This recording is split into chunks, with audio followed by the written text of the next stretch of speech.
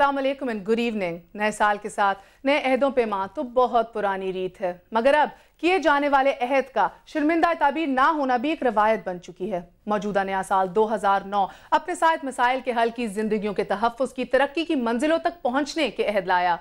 2009 के इस साल के 100 दिन मुकम्मल हुए।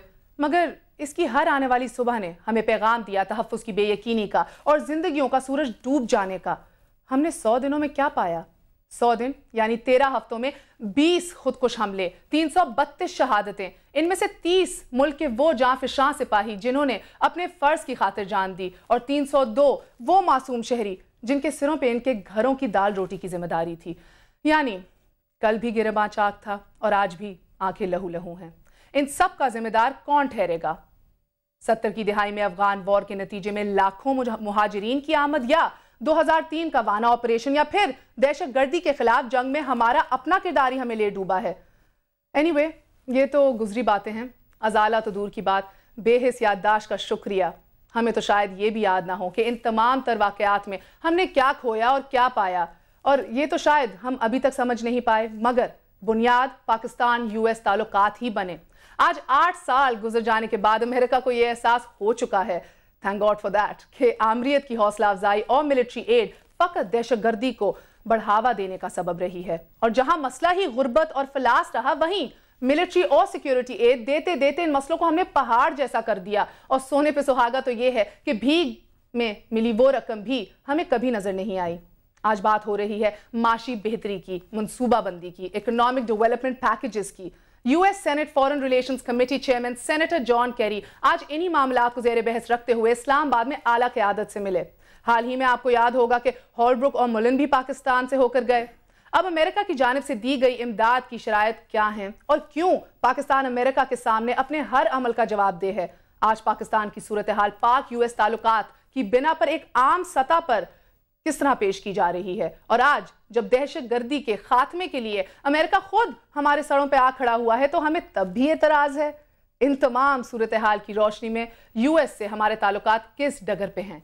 आइए ये सब बातें जानने की कोशिश करते हैं, हमारे साथ आज मौजूद हैं इकराम सैगल साहब, इनके साथ तशरीफ़ रखते हैं ब्रिगेडियर इसमत चौधरी साहब और इस्लामाबाद से हमें ज्वाइन करेंगे तारिक फातमी साहब। ये तीनों मेहमान जो किसी भी तारुफ के मोहताज नहीं हैं so we continue from here mister Sehgal I like to ask you कि अभी आप अपनी एक अमेरिकन टूर से वापस होकर आए हैं यकीन आपने वहाँ के अमेरिकन और Pakistani ambassador to the US mister Haqqani से भी आपकी गुफ्तु हुई होगी। तो आपने एक स्टांस और एक जनरली एक आउटलुक के हवाले से क्या पाया? देखिए, हकानी साहब एक बड़े मंजे हुए एक ऑपरेटर हैं और उनकी अपनी जो कैबिलिटी है, उसके बारे में कोई आदमी शक नहीं कर सकता। उनकी अपनी नॉलेज है, उनकी बोलते हैं, उनकी अपनी एक्सपीरियंस है और दूसरा वो काफ़ी सालों से ऑलमोस्ट उनको दस साल हो गए हैं वाशिंगटन में वो हैं और बीयू में पढ़ाते हैं। उनकी कॉन्टैक्ट्स भी अच्छी खासी हैं। जो फ़र्क लगा मुझे जी।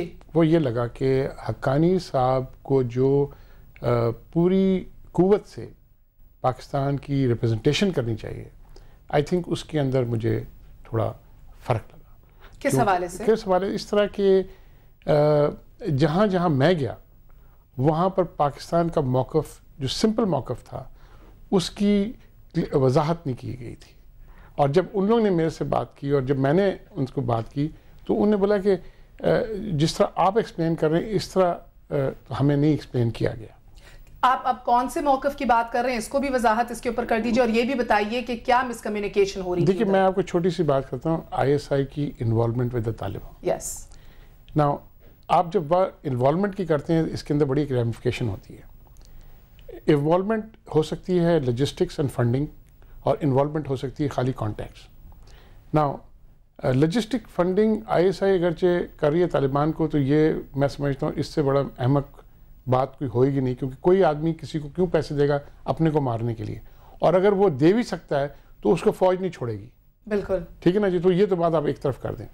ना दूसरी इन्वॉल्वमेंट होती है कॉन्टैक्ट्स तो जब उन्हें कहा मैंने उनको कहा जी कि आप तो बाकी को छोड़ें। अगर मैं डी जी आई सा होता कता कलामी माफ़ बहुत बहुत आई एम वेरी सॉरी हमारे साथ अभी वज़ीर खारजा शाह महमूद कुरैशी साहब लाइन पे हैं सलामकुम कुरैशी साहब how are you I am okay thank you Thank you very much for joining us. regarding your very positive meeting with Senator Kerry, we congratulate you.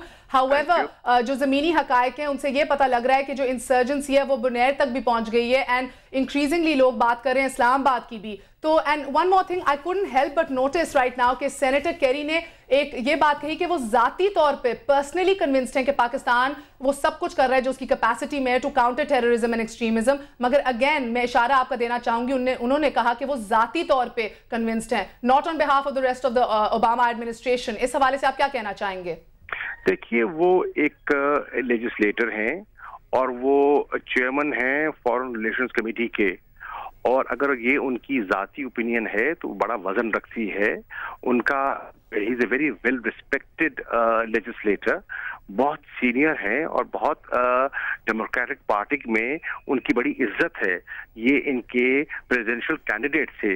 तो उनकी बात मैं समझता हूँ बहुत वज़न रखती है और वज़न रखेगी। I think you right and again हमें ये भी रिपोर्ट्स मिल रही हैं कि यूएस पाकिस्तान की रिलेशनशिप अभी स्लाइटली स्ट्रेंड है। और सेनेटर कैरी ने इस हवाले से भी बात की न्यू वे फॉरवर्ड की, यानी कि आगे की नई राहों की। तो आपकी नज़र में व्हाट डज दिस इंटेल देखिए इनशाला जैसे मैंने आपको कहा कि